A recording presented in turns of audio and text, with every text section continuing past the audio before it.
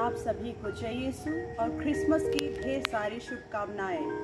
प्रभु यीशु, मानव रूप धारण कर हमें पापों से मुक्ति दिलाने इस धरा पर आए और गौशाले में जन्म लिया। प्रभु यीशु के जन्मदिन का ये उत्सव हम हर साल धूमधाम से मनाते हैं। घरों की सजावट, सतरंगी रोशनी, क्रिसमस ट्री, रिश्तेदारों व पड़ोसियों के साथ खुशियाँ मनाने और उपहार बांटने की परंपरा चली आ रही है। लेकिन इन सभी रीति रिवाजों से भी ज़्यादा क्रिसमस हमारे लिए मायने रखता है। सिस्टर सरिता आप इसके बारे में क्या कहेंगे? क्रिसमस का मतलब है प्रेम। ईश्वर ने संसार को इतना प्यार किया उसने अपने इकलौते पुत्र को दे दिया ताकि हर वह मानव जो उसमें विश्वास रखता है वह अनंत जीवन प्राप्त करे। सिस्टर ज्योति आप इसके बारे में क्या कहेंगे?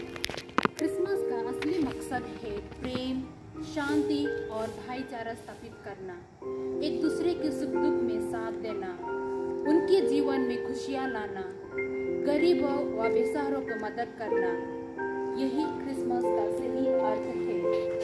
आइए, हम सभी बालक यीशु को चरनी में ही ना पड़ा रहने दें, बल्कि अपने हृदय में जगह दें और भले कार्य की शुरुआत करें। क्रिसमस प्यार है। क्रिसमस खुशी है। क्रिसमस उत्साह है। क्रिसमस एक नया उमंग है।